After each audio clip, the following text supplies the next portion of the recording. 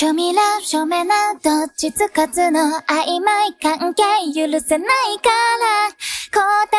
えを求めようつなぐ手と手のパラドックス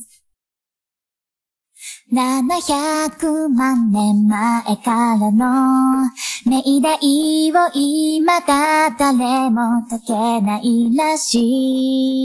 い。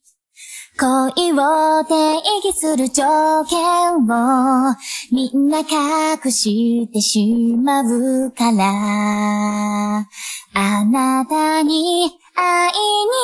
行くルートならば最短形がくアルゴリズム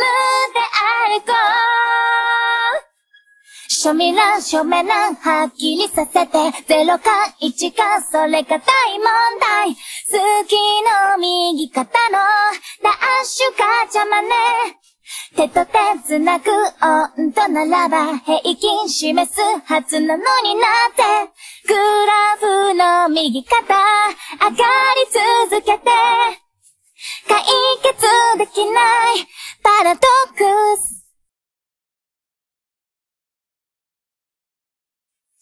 あなたに会えないマイナスも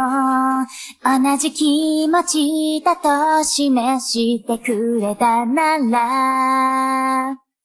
マイナスかけるマイナスですぐにプラスになれるのに。あなたと歩いてくルートならば最長経路がいてもそれからもね。庶民ら庶民などっちつかずの水色反応ホワイ増えてはホワイトボードをビーカ越しにあなたの顔観察したそれだけでなぜ急に込み上げるこの水滴は説明できないパラドックスパラドックス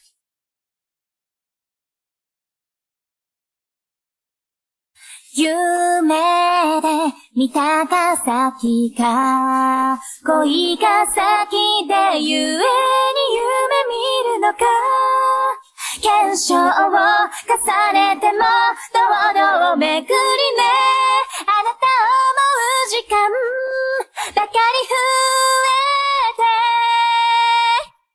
割り切れないこの思いを知り尽くしたいあなたの隣演習率もさ数え切るまで。庶民ら庶民らはっきりさせて0か1かそれが大問題。好きの右肩のダッシュが邪魔ね手と手繋ぐ温度ならば平均示すはずなのになぜ？グラフの右肩上がり続けて。解決できないパラドックス。